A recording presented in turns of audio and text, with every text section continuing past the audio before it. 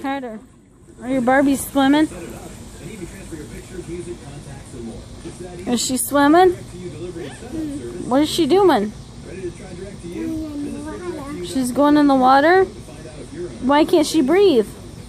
Because she's going in the water. Well, she needs to breathe.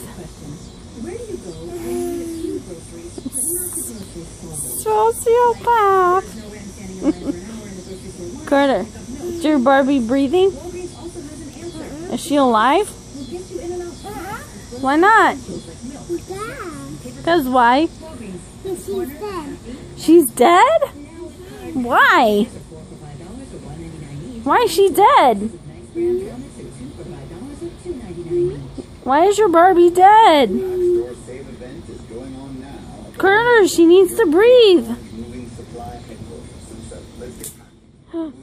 What happened? 74 cents. And guaranteed low Carter, what happened to your doll?